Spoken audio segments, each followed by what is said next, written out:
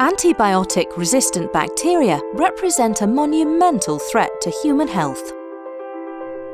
Phico Therapeutics have responded to this threat, developing a revolutionary medical technology, SASPject.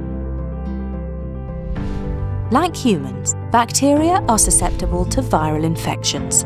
Bacterial viruses are called bacteriophages, and Phico's SASPject technology harnesses phage activity. Phico engineers SASPjects by adding a special gene called SASP to the phage's DNA. The engineered phages detect and bind to harmful bacteria in the body, injecting these target bacteria with the phage DNA, including the SASP gene.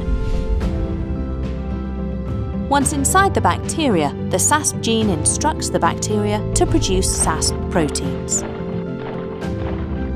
SASP proteins bind to all bacterial DNA, causing the DNA to become contorted and inactivated.